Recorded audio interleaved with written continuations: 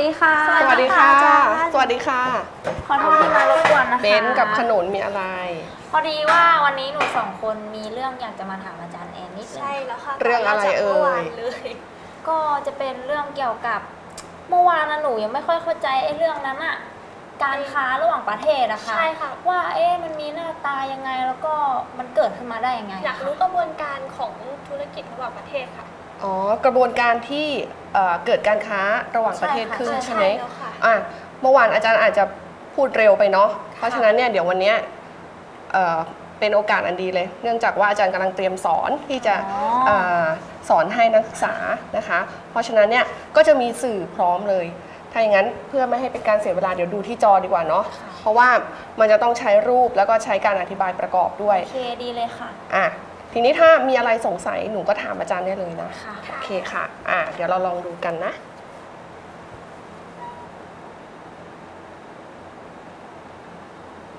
อะมาละ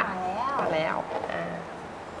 อันนี้ใช้สไลด์ที่จะเอาไปสอนเด็กอธิบายหนูเลยนะเนี่ยเพิ่งเตรียมเสร็จสดๆร้อนๆเลเลยย ก่อนล่วงหน้าใช่ไหเอมอใช่ใช่ ไม่เป็นไรจะได้เป็นการเทสด้วยว่า สไลด์ที่อาจารย์เตรียมเนี่ยอ่าพวกหนูเข้าใจกันไหมด้วยนะคะอะอันดับแรกเลยก็คือเมื่อวานเนี่ยอาจารย์พูดถึงอัตราแลกเปลี่ยนเงินตราระหว่างประเทศ ถูกไหมใช่ค่ะใช่อ่าค่ะอัตราแลกเปลี่ยนเงินตราระหว่างประเทศเนี่ยก็จะหมายถึงอ่าการเทียบค่าเงินของประเทศ 2 ประเทศ เนื่องจากว่า 2 ประเทศเนี่ยเขามีค่าเงินที่แตกต่างกันเนาะค่ะเพราะฉะนั้นเนี่ยก็จะต้องมีการเทียบค่าเงิน ทีนี้ประเทศที่จะถูกมักจะถูกนำไปเทียบค่าเงินเนี่ยก็จะเป็นดอลลาร์สหรัฐ ยกตัวอย่างเช่น 1 เหรียญของสหรัฐเทียบเท่ากับ 30 บาทอ่าค่ะแต่ว่าแต่ละวันเนี่ยเขาก็จะประกาศอัตราแลกเปลี่ยนที่แตกต่างกันไป อืมคราวที่แล้วเราพูดถึงว่า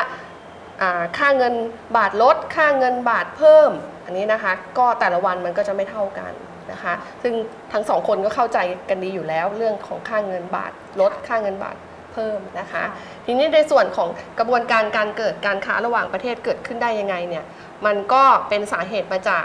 สองประเทศเนี่ยทำการค้านะคะ ทีนี้เมื่อทำการค้ากันเนี่ยสกุลเงินของแต่ละประเทศมีมันมีความแตกต่างกันค่ะเพราะฉะนั้นเนี่ยก็จะต้องมาตกลงกันว่า เอ๊ะ จะใช้สกุลเงินไหนในการที่จะซื้อของกันอ๋อนะคะ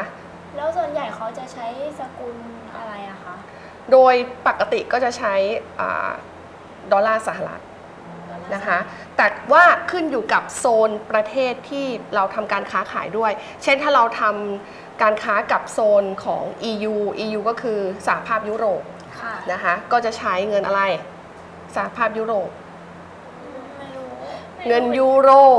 เงินเงินยุโรปอ่าเงินเงินยูยุโรโรปมีเหรอไม่มีค่ะเขาเขาใช้สกุลเงินเป็นโซนของประเทศอาจารย์ให้ติด F เลยเงินเงินยูโรเงินยูโรยูโรอ่าก็บอกอยู่ว่ายูโรเมื่อกี้ เออเงินยูโรอะไม่ต้องทะเลาะกันไม่ต้องทะเลาะกันอะดูต่อนะคะอะโอเคอย่างยกตัวอย่างเช่น มีประเทศหนึ่งนะคะ ต้องการจะส่งออกสินค้ามาประเทศเรา ประเทศไทยเป็นประเทศนำเข้า สมมุติว่าอะอเมริกาต้องการจะส่งออกสินค้า เป็นชิ้นส่วนอิเล็กทรอนิกส์อะไรก็ได้ ค่ะมาที่ประเทศเรา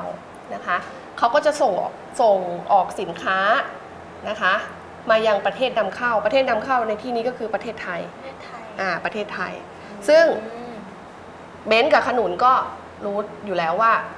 อเมริกาเนี่ยสกุลเงินก็เป็นดอลลาร์สหรัฐค่ะ ใช่ไหมคะ ประเทศไทยก็จะเป็นเงินบาทเนาะทั้งสองประเทศมีความแตกต่างกันในเรื่องของสกุลเงินอ่าทีนี้ จะจ่ายเงินกันยังไงอะใช้สกุลเงินคนละประเภทนะคะ ก็จะต้องมีตัวกลาง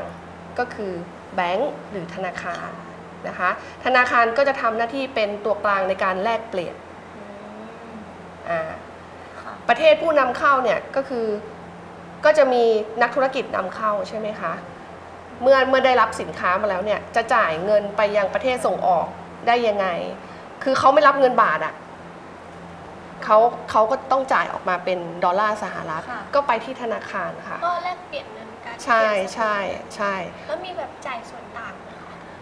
ส่วนต่างเนี่ยอ่าต้องต้องมีข้อตกลงนะว่าคำว่าส่วนต่างเนี่ยเช่นประกันภัย เวลาประเทศส่งออกเนี่ยส่งสินค้าเข้ามายังประเทศนำเข้า มันมีความเสี่ยงเกิดขึ้น ถ้าส่งมาทางเรือ เรืออาจจะจม หรืออาจเสียหายได้ อ่าใช่หรือว่า โดนโจรสลัด มาขโมยอะไรประมาณเนี้ยอ่าหรือเกิดไฟไหม้หรือสินค้าสูญหาย พวกเนี้ยก็จะเป็น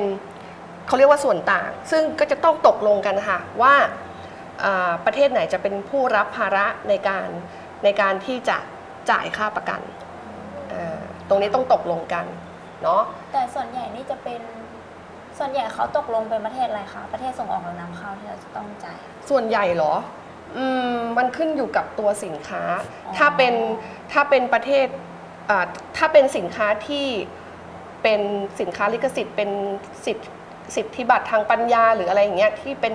ลักษณะของนวัตกรรมเนี่ยค่ะประประเทศอ่าเจ้าของอะมักจะเป็นผู้รับผิดชอบอืมเพราะว่าเขาจะต้องทำระบบรักษาความปลอดภัยเป็นอย่างดี ค่ะเพื่อป้องกันการลอกเลียนแบบอะไรแบบเนี้ยนะคะ แต่ถ้าเป็นสินค้าเกษตรสินค้าที่ มีปริมาณเยอะๆ อะไรแบบเนี้ยก็จะเป็นผู้นำเข้านะคะก็ก็แล้วแต่แล้วแต่ตัวสินค้านะคะอะถึงตรงเนี้ยเมื่อประเทศนำเข้าเนี่ยไม่รู้ว่าจะเอาเงินดอลลาร์ที่ไหนไปจ่ายประเทศส่งออกใช่ไหมค่ะก็ไปที่ธนาคาร ก็เอาเงินบาทของตัวเองเนี่ยเงินในบริษัทตัวเองเนี่ยไปซื้อดอลลาร์จากธนาคาร ธนาคารก็จะให้เป็นเงินดอลลาร์ไป นะคะ อันนี้อาจารย์ยกตัวอย่างว่า 1 ดอลลาร์สหรัฐเทียบเท่ากับ 30 บาทค่ะนะคะ พอบริษัทผู้ส่งอ่าผู้นำเข้าเนี่ยได้เงินดอลลาร์ไปละเขาก็จะยังไงต่อ เอาเงินดอลลาร์ส่งคืนกลับไปยังประเทปศระเทศที่ส่งออกส่งออกนะคะอ๋อก็จะหมุนเวียนกันอย่างเอนี้อใช่ไหมไม่ใช่เอาเงินใส่เรือแล้วส่งไปนะค่ะเขาก็อาจจะซื้อ เดี๋ยวหนูจะเข้าใจแบบนั้นค่ะไม่ใช่ เขาก็จะซื้อเป็นเช็ค อ่าเป็นการโอนระหว่างประเทศไปค่ะนะคะ อาจารย์คะแล้วตรง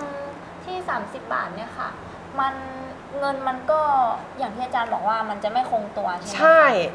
แล้ณววันวันนั้นๆที่เขาประกาศ แล้วเราจะรู้ได้ไงว่าวันไหนเนี่ยมันจะประมาณกี่บาทอะไรอย่างเงี้ยค่ะใช่มันขึ้นอยู่กับอะไรอะคะขึ้นอยู่กับว่าอ่าธนาคารแห่งประเทศไทย อะระบบธนาคารของเราเนี่ยจะมี 2 ระบบก็คือธนธนาคารพาณิชย์กับธนาคารกลาง ค่ะ ธนาคารพาณิชย์ก็เนี่ยเหมือนที่เราไปใช้บริการโดยทั่ว ๆ ไป ก็จะทำหน้าที่อ่าฝากทำธุรกรรมถอนทางการเงินฝากค่ะถอนโอน อะไรพวกค่ะ นี้นะคะ แต่ว่าจะมีธนาคารอีกธนาคารหนึ่งซึ่งเป็นเหมือน center เป็นเหมือนศูนย์กลางในการควบคุม เราเรียกว่าธนาคารแห่งชาอ่าธนาธนาคารแห่งประเทศไทยอ่า ธนาคารแห่งประเทศไทย หรือว่าเราใช้ชื่อย่อว่าแบงก์ชาติแบงค์ชาติอ่าแบงก์ชาตินะคะ ในการที่จะควบคุมนโยบาย เช่นประกาศนะคะว่าวันเนี้ยอัตราดอกเบี้ยจะเท่ากับเท่าไหร่หรือควบคุมนะคะนอกเหนือจากอัตราดอกเบี้ยแล้วเนี่ยก็ยังควบคุมนโยบายอื่นๆอีกด้วยค่ะนะคะในการควบคุมอ่าโอเคเนาะตรงนี้ มีอะไรสงสัยไหม อันนี้คือกระบวนการในการที่เกิดการค้าระหว่างประเทศว่า เงินจากประเทศนำเข้าส่งคืนกลับไปซื้ออาซื้อสินค้าจากประเทศผู้ส่งออกได้ยังไงนะคะ เป็นกระบวนการแบบนี้ค่ะเข้าเข้าใจใจแล้แล้ววค่ะค่ะอ่าทีนี้มีมันจะมีคำถามต่อเนื่องมานะคะว่าอ่า ในการส่งออกในการนำเข้าเนี่ยปริมาณของเงินหรือความต้องการของเงินเนี่ยมันเขาเรียกว่าอะไร มันมีอะไรเป็นปัจจัยในการที่จะทำให้เออเราอยากส่งออกมาก เราอยากจะนำเข้าน้อยหรืออะไรประมาณเนี้ยนะคะ อันนี้เป็นเป็นส่วนที่อาจารย์อาจจะอธิบายเพิ่มค่ะนะคะดีเลยค่ะอาจารย์อ่าหนูไม่ค่อยเข้าใจอะไรสักอย่างอะค่ะจะตอนได้เนี้ยเก็ตอืมจะมีเข้าใจอะไรบ้างเนี่ยเธอเนี่ยเบนฮะอะ ชนิดของอัตราแลกเปลี่ยนนะคะ อย่างที่อาจารย์อธิบายไปแล้วว่าอัตราแลกเปลี่ยนเนี่ยมันจะมีอยู่ 2 ระบบก็คือระบบแบบลอยตัวกับคงที่คราวที่แล้วพูดไปแล้วนะคะ ทีนี้ประเทศเราเนี่ยใช้อัตราแลกเปลี่ยนแบบลอยตัวนะคะทีนี้